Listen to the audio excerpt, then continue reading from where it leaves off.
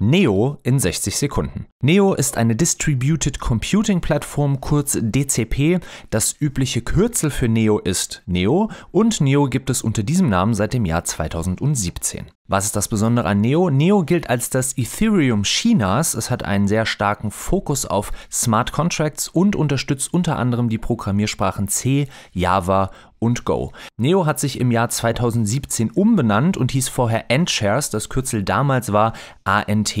Von Neo gibt es 100 Millionen Coins, die durchschnittliche Blockzeit liegt zwischen 18 und 24 Sekunden und der Hashing-Algorithmus ist SHA 256. Weitere Informationen findet ihr auf der offiziellen Webseite oder bei Twitter und Reddit.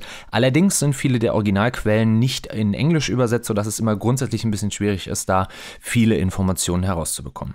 Das war Neo in 60 Sekunden. Für weitere Videos abonniert gerne den Kanal, lasst mir außerdem einen Daumen da, wenn euch das Video gefallen hat und schreibt mir unten in die Kommentare, welche Coins ich als nächstes vorstellen soll. Bis dahin, eine gute Zeit und ciao.